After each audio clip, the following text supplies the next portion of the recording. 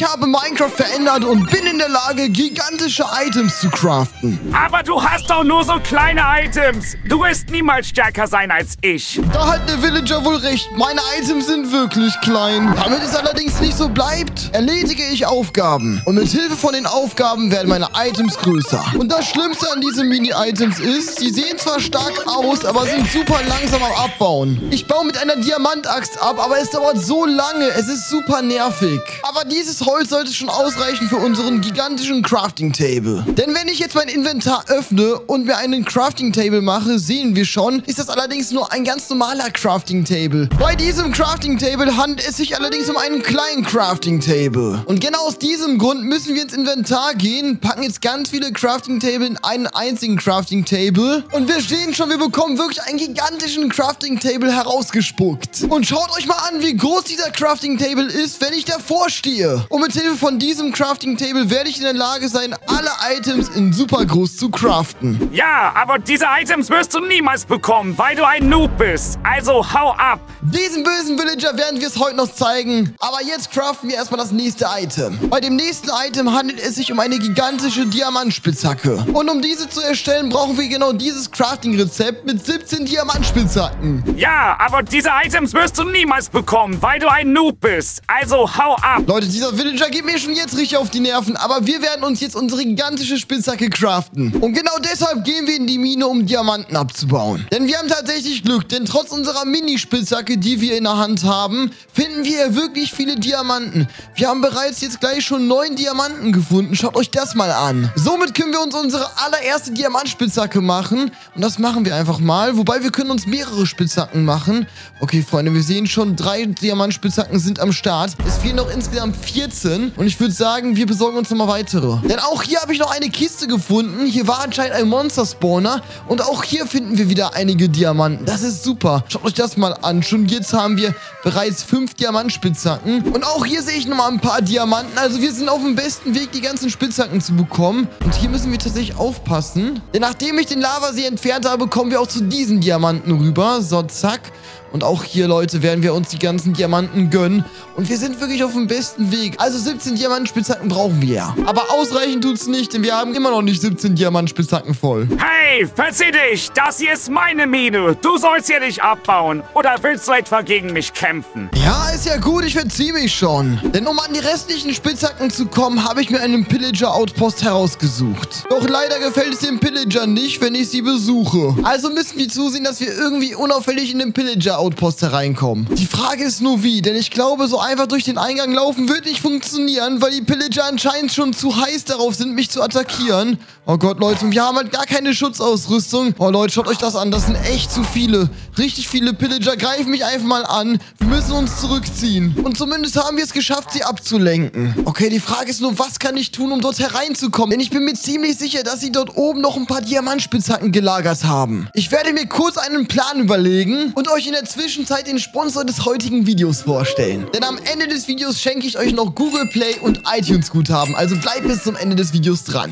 Dankeschön an Shakes Fidgets, der Sponsor vom heutigen Video. Shakes Fidgets sollten alle von euch kennen, denn Shakes Fidget habe ich ja schon öfters auf meinem Kanal gespielt. Und momentan gibt es sogar ein ganz besonderes Event, und zwar das Elevator Event, wo wir richtig gute Ausrüstung bekommen können. Falls ihr Shakes Fidget allerdings noch nicht kennen solltet, Shakes Fidget ist ein kostenloses Spiel fürs Handy, für den PC, aber auch fürs Tablet. Also ihr könnt es perfekt unterwegs spielen. Denn bei Shakes Fidget müsst ihr euren eigenen Charakter aufbauen. Ihr könnt euch aussuchen, wie der Charakter aussieht. Ihr könnt Shakes Fidget sogar mit euren Freunden kostenlos spielen. Denn es gibt sogar Gilden, wo ihr eure Freunde einladen könnt. Und aktuell gibt es ja auch das Elevator Event, wo man eine Gilde benötigt. Das Elevator Event werde ich euch am Ende des Videos zeigen, genauso wie ein Google und iTunes Guthaben-Code. Deswegen, wenn ihr Bock habt auf Shakes Fidget, könnt ihr gerne schon mal den ersten Link in der Videobeschreibung abchecken. Da könnt ihr euch es kostenlos herunterladen und checkt das Ende des Videos auch ab, denn da spiele ich das Elevator Event.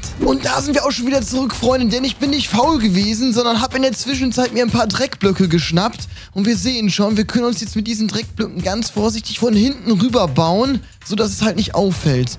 Okay, Freunde, und ich würde sagen, das machen wir jetzt einfach mal ganz schnell. Okay, das sieht auf jeden Fall ganz gut aus. Oh Gott, oh Gott, oh Gott, oh Gott, oh Gott. Der Pillager hat mich fast getötet. Ein halbes Herz, ein halbes Herz. Wenn ich mich jetzt allerdings ganz vorsichtig reinschleiche und hier auch den Zugang absperre, sollten die Villager mich nicht mehr stören können. Und schauen wir mal nach. Hier in der Kiste haben wir tatsächlich weitere Diamantspitzhacken und die werden wir uns einfach mal schnappen. Aber machen wir uns jetzt die gigantische Spitzhacke am gigantischen Crafting Table. Dafür muss ich nur die ganzen Spitzhacken hereinlegen und schon sehen wir, die gigantische Spitzhacke, es hat funktioniert. Schauen wir jetzt gemeinsam nach, ob die Spitzhacke wirklich so groß ist und wir sehen, zack, was? Sie ist sogar wirklich größer als ich. Und das ist wirklich verrückt, Freunde. Aber was kann denn diese gigantische Spitzhacke? Denn wir sehen, sie ist wirklich mega groß. Aber kann sie auch irgendwas Krasses? Wir probieren es aus an dem Haus der Pillager. Denn die Pillager sind tatsächlich gerade draußen aus dem Pillager-Haus. Und wir testen mal aus, was passiert, wenn ich hier einen Block abbaue. So, und... Oh mein Gott, und wir sehen, was? Das ganze Pillager-Haus wurde einfach mal mit einem Schlag abgebaut. Also diese Spitzhacke ist wirklich der Hammer. Aber diese Spitzhacke Spitzhacke war noch eins der kleinsten Items heute. Denn je mehr Items wir craften, umso größer werden sie einfach mal. Und deshalb machen wir weiter mit dem goldenen Apfel. Denn tatsächlich benötigen wir dafür auch einige goldene Äpfel. Und wir sehen, für einen gigantischen Goldapfel brauchen wir 44 goldene Äpfel. Keiner hat gegen mich eine Chance. Auch dieser Drache wollte mich eingreifen und mich besiegen. Aber nicht mit mir. Pat wird noch sein blaues Wunder erleben. Um die insgesamt 44 Goldäpfel zu finden, müssen wir uns in den inneren Teil der Pyramide begeben. Denn ich erhoffe mir, dass wir dort ein paar Goldäpfel finden können. Sondern wir schauen einfach mal nach. Denn das Gute ist ja, wir haben jetzt hier diese mega coole Spitzhacke am Start, die ultra groß ist übrigens. Ich meine, schaut euch mal an, wie groß diese Spitzhacke ist. Aber, wie gesagt, 44 Goldäpfel ist auch nicht ohne. Deshalb bauen wir uns einfach mal ganz vorsichtig herunter. Und wir sehen schon, das funktioniert auf jeden Fall richtig gut. Und gucken wir nach, dass wir auch jetzt hier nicht in eine Falle reintreten, sondern einfach mal die Goldäpfel mitnehmen. Und wir sehen tatsächlich, hier sind einige Goldäpfel, die wir sogar mitnehmen nehmen können. Ich zähle gerade schon 8 Goldäpfel. Hier haben wir nochmal 13 Goldäpfel insgesamt. 19 Goldäpfel, aber leider reicht auch das noch nicht. Hey, warte, habe ich das richtig gesehen? Pat hat verzauberte Goldäpfel? Nein, die muss ich ihm wegnehmen. Das kann nicht sein. Er darf nicht stärker werden als ich. Oh, dieser Villager ist so nervig, aber ich habe mich davon nicht abhalten lassen, denn ich bin auch schon auf dem Weg zu einem Tempel. Denn in diesem Tempel sollen anscheinend auch ganz viele Goldäpfel gelagert sein. Denn der Villager hat mir bis auf 9 Goldäpfel alles abgenommen, aber wie gesagt, kein Problem. Denn in diesem Tempel sollen wir weitere OP-Äpfel finden können können. Okay, okay, okay. Dann schauen wir mal nach, denn anscheinend müssen wir erstmal ein paar Schalter umlegen. Und dann sollte sich, glaube ich, auch ein geheimer Raum hier öffnen. Gucken wir mal nach. Und hier scheint sich irgendwas getan zu haben. Okay, und ja, das sieht sehr gut aus. Schaut euch das mal an.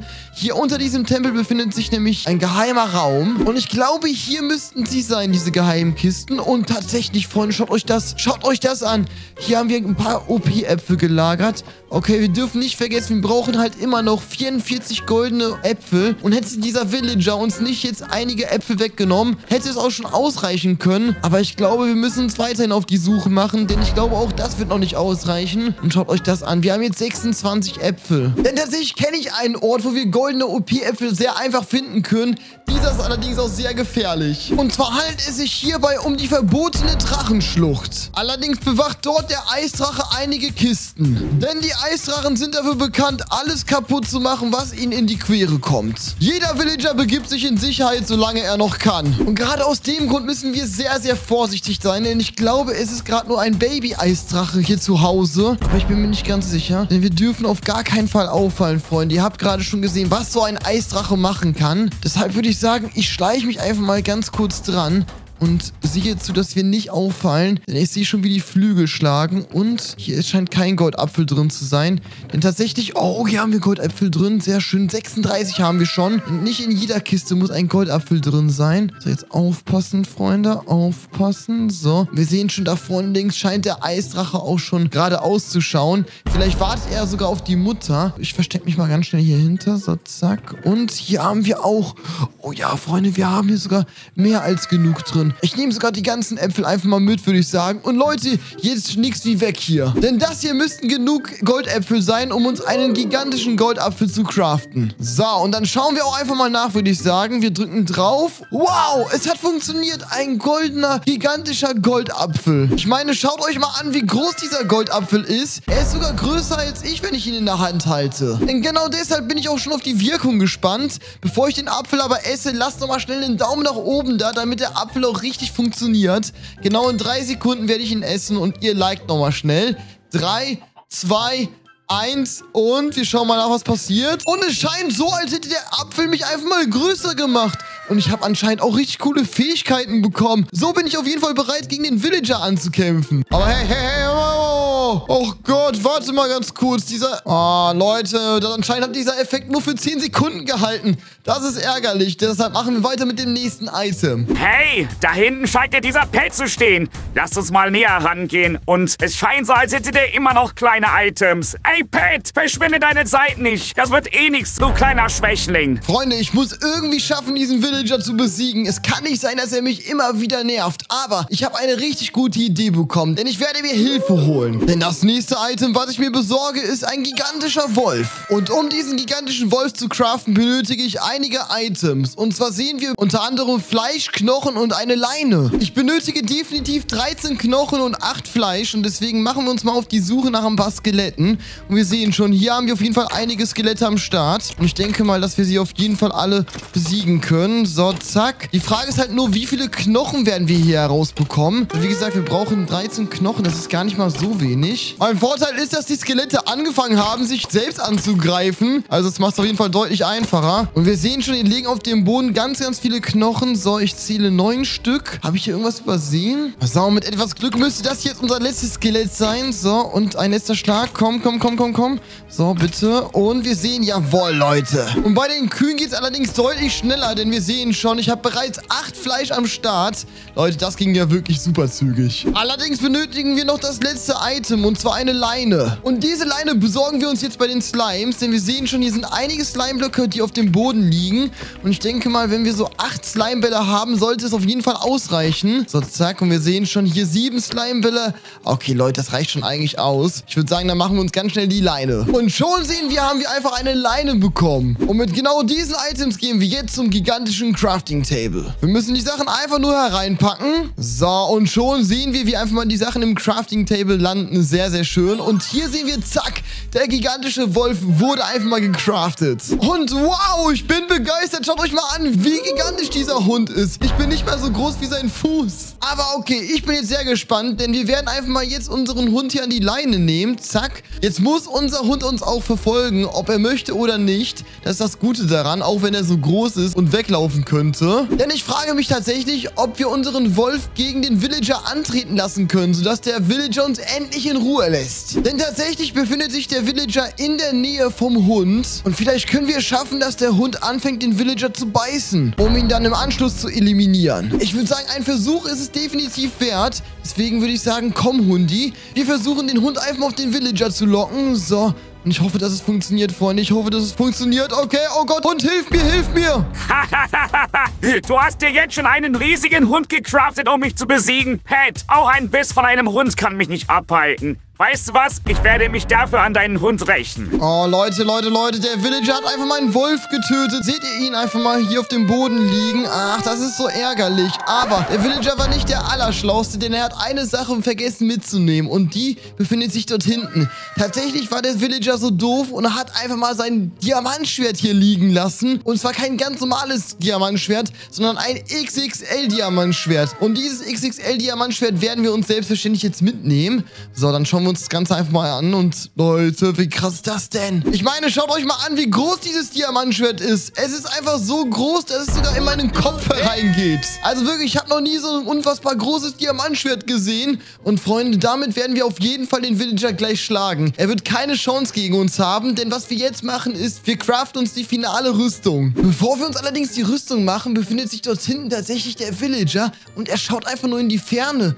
Vielleicht können wir doch versuchen, ihn mit seinen eigenen Mitteln jetzt mal zu schlagen. Ich möchte mich auch an meinen Hund rächen. Sondern ich würde sagen, wir greifen ihn einfach mal an und gucken mal, ob wir ihn jetzt vielleicht sogar schon besiegen können. So, komm her, komm her, komm her, Villager. Und zack, zack. Oh Gott, oh Gott, der ist ziemlich stark, er ist ziemlich stark. Eieieiei. Oh Leute, nein, nein, nein, nein, nein, das kann ich nicht eingehen. Das Risiko, das kann ich nicht eingehen. Ich werde abhauen vor dem Villager. Ja, natürlich. Erstmal angreifen und dann wegrennen. Wenn ich dich in die Finger kriege, erlebst du das kein zweites Mal. Aber schauen wir nochmal nach, was wir für diese richtig kranke Rüstung benötigen. Denn um den Villager zu besiegen, scheinen wir ganz viel Ausrüstung zu benötigen. Ganz viele verschiedene Brustpanzer und Helme. Aber das werden wir jetzt machen. Denn um an weitere Diamanten zu kommen, versuche ich die Diamantgolems zu besiegen. Denn wir werden genug Ausrüstung benötigen. Und ich meine, mit diesem wunderschönen Schwert sollten wir auf jeden Fall in der Lage sein, gegen Diamantgolems anzukommen. Okay, Freunde, ich würde sagen, wir gehen mal in den Angriff rüber rüber und greifen mal hier ein paar Diamant-Golems an.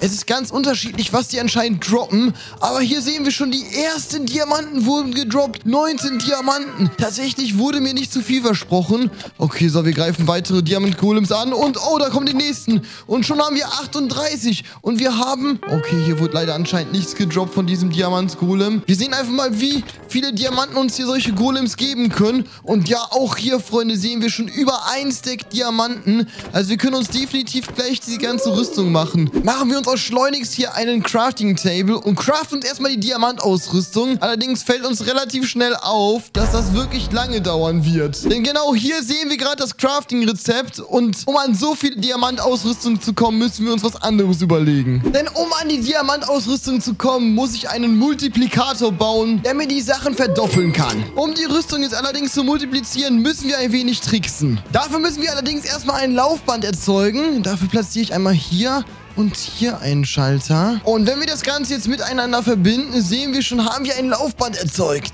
Und mit diesem Motor werfen wir die Maschine an. So, wir sehen schon, jetzt könnten wir theoretisch schon die Items draufwerfen. Zack. Allerdings würde jetzt natürlich noch kein Multiplikator funktionieren. Denn jetzt würden die Items einfach nur herunterfallen. Möglich macht das nämlich ein Minecraft-Trick. Dafür packen wir den Hopper einmal hier an die Kiste dran. Und jetzt müssen wir hier ganz klebrige Kolben platzieren. Dann kommen hier einmal diese Targetblöcke hin. So, und jetzt müssen müssen wir die Magie beginnen lassen, denn wir sehen schon, wenn ich jetzt einmal hier einen Redstone Repeater platziere, ihn gleich einmal anwerfe, allerdings nur ganz kurz und dann wieder abbaue, müsste es eigentlich schon funktionieren. So, zack, einmal hier, einmal hier und jetzt machen wir das an und aus, an und aus, an und aus. Okay, sehr gut. So, und jetzt müssen wir allerdings noch zusehen, dass die Items nicht herunterfliegen können. Das ist das Allerwichtigste daran. Und jetzt müsste eigentlich, sobald ich hier einmal das ein bisschen schneller einstelle, zack, und jetzt ein Item hier drauf werfe, es anfangen so richtig zu reiben. Und wir sehen tatsächlich, weil wir sehen, das ist ein Minecraft-Bug.